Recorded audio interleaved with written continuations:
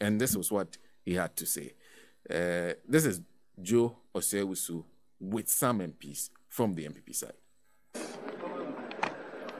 We invited you here this morning because of some publications that have gone haywire in respect of the leadership of the majority caucus.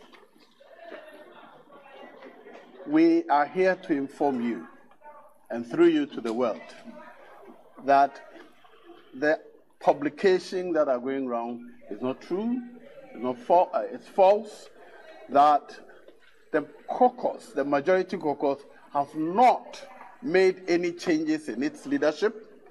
The majority caucus has not contemplated making any changes to its leadership, and that we tell the whole world, Ghana, to ignore any such publications. I want to assure you that we have confidence in the leadership as they are, and the status quo shall remain. We are aware that upon the nomination of one of the deputy whips as a minister, a replacement will be made. That replacement will be made by the caucus when we have had the opportunity and the time to consider the appropriate replacement. This is all the information we want to share with you and to, through you, tell the world that the leadership of the majority caucus has not changed. We have not contemplated any change, and we do have no intention to um, effect any changes in the leadership of the majority caucus. Which con- constitution? That regulates NPP. The Parliament of Ghana has adopted standing orders which places the selection and, and change or otherwise of leadership in the hands of the caucus and not anybody outside Parliament.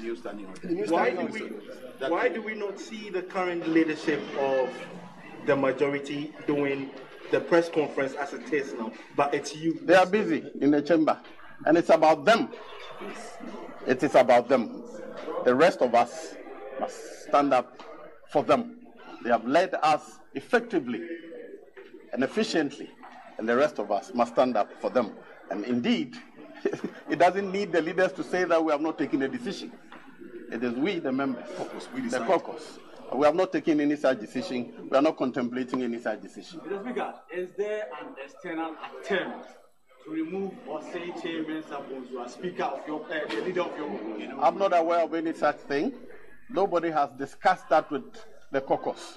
And since nobody has the power to do that outside the caucus, there may be rumors and intricacies, but the caucus in Parliament is not aware of any attempt to remove anybody. Well, so this is open defiance of the party, the new patriotic party. And this was led by none other but the first deputy speaker of parliament, Joseph Osei-Owusu, somebody they can't touch. Once you nominated her, him as first deputy speaker, you can change your front bench, you can't touch him. He stays there as first deputy speaker until his term is done. So he is the one who addressed the press. Now, typically, what you know is that the party will nominate somebody to occupy a position as leader or whip or whatever. What had happened was that Lydia Seyram Alhassan, was who is member of parliament for Ayawaso West Wuogon, had been uh, nominated to take over a position, ministerial position. She was one of the deputy whips, so she needed to be replaced. But when they got to the party headquarters to hold uh, a, a meeting, the meeting that was held, uh, remember the meeting that was held a few days ago where they announced the campaign team. Yeah, when they got there, they realized that there was, as part of the agenda, a leadership change there when the majority got there. Then they realized, hey, so these people are planning a majority, a change in the leadership. And that was the reason they organized this press conference. But what he said and what the party were planning to do was two different things. This was the majority saying, now we decide who leads us, not the party. But he didn't end it there. They took it to the floor of parliament and attempted to use the new standing orders to get the speaker to rule that nobody outside parliament can change the leadership in of any caucus. Nobody outside, not even the party, not the president, not the vice president, not a flag bearer, nothing. But the speaker didn't give him the ruling he was looking for. This was the, the ruling of the speaker on that matter. I have listened, and I know that the parties are having problem with this new definition of the leaders. That is only where this confusion is coming from. The old order referred to party or parties. But this new one is not referring to a party, but caucuses. The old order defined the majority leader to mean a member of parliament designated by the party or parties holding majority of the seats in the House as their recognized leader in the House. Now, this new order says majority means a member of parliament designated by the majority caucus as their leader in the House. Designate means appoint. Now, the same standing orders talks about the majority caucus. And it says majority caucus means the members of the party or parties that have the largest number of seats in the House. I really don't see the difference. Well, so that's the speaker. Uh, so the speaker disagrees with him, and the speaker says that it is the party that makes the decision, not you, those who are, or those of you who are in parliament. Well, so having sensed that a meeting was called, then in the meeting, according to reports, before they could even start talking about the issue, say Kyei-Mensah-Bonsu stood up, took a written speech, speech written by him in his handwriting, and starts reading. And then concludes by saying, Me, I don't want problem. Let's leave the matter here. You're thinking about the unity of the party. If I am in the eye of the storm, let's forget it. So I resign as minority majority leader. Okay. I'll come back and play what he did in parliament when he got there the next day. But this is Joe Osei-Owusu responding to the decision of uh, Osei Kyei-Mensah-Bonsu. And Alaska will share the video with you. He has been a fantastic leader, an extremely hardworking person, and I would have wished that he stayed on to the end. What do you think got him to do this? Because it came as a surprise to many, I'm sure, including you. So did it come to you as a surprise? Yes, it did. But as to what got to him, I'm sure we better let him explain. Yes.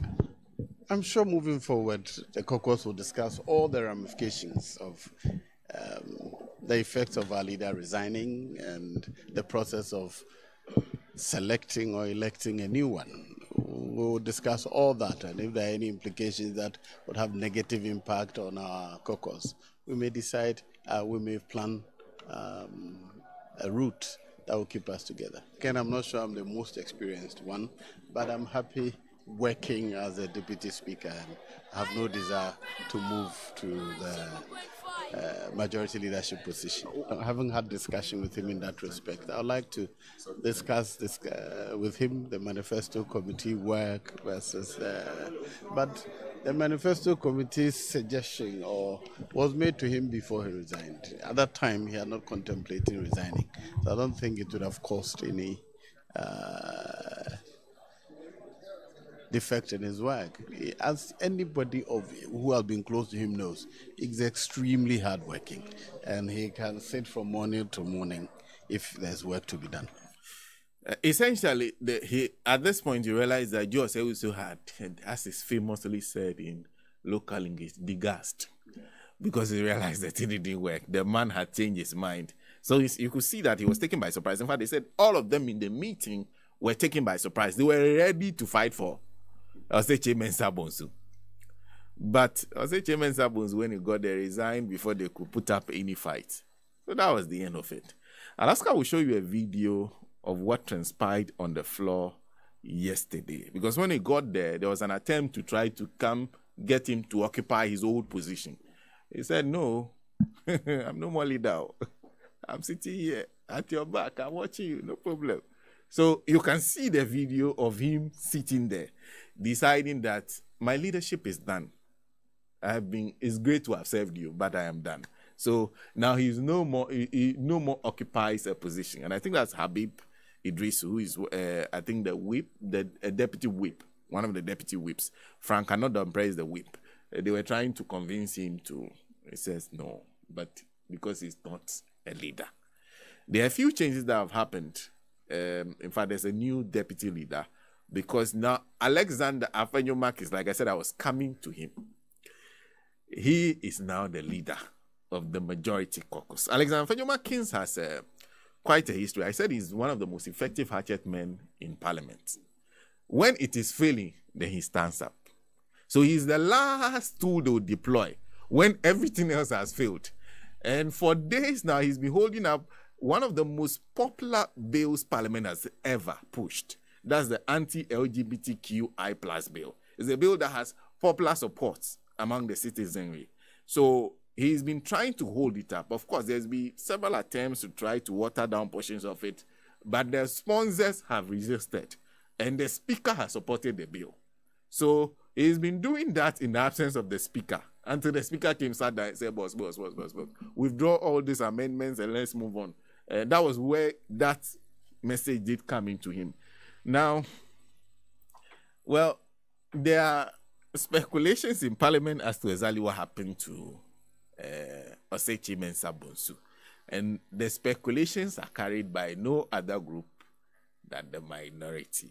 This is my good friend, Comrade Ibrahim Murtala Mohammed. It has to do with forcing the man out. Because if the question, I, I guess you asked him the question, why was he the one addressing the press on that matter? If indeed there was some possible changes in the leadership and there was the need for the press to be, you know, addressed, it ought to have been done by the leadership of the majority caucus. Unfortunately, they took it out. We are picking some information that he's not a happy person. And the information we've got is that he was virtually forced out, he was unwilling to go. The information I also picked reliably is the fact that he wanted to be made the Minister for Foreign Affairs. And I'm told the current Minister for Foreign Affairs intend contesting for some position within the sub-region and therefore going and leaving the ministry and was going to be instrumental in her campaign, be it as it may. Yes, that's Comrade Ibrahim Murtala Mohammed. Now, that story is also one that is coming up now. That, uh, you know, Dr. Bawumia has made lots of promises to lots of people. Now that he has the leadership. In fact, he said he's promised about like five people, five MPs alone in parliament, three prominent ones. They say, uh, even Joe Wise is one. His promised was say Kyei-Mensah-Bonsu. His promised the education minister. Napo, I think they said one other. Uh, uh, what they call it, is a running mate, right? Uh, running mate position. So they said he was promised originally that he will take over the foreign affairs ministry position because Shirley Ayorkor Botchwey wants to take up a position in the Commonwealth. Mm. The Commonwealth.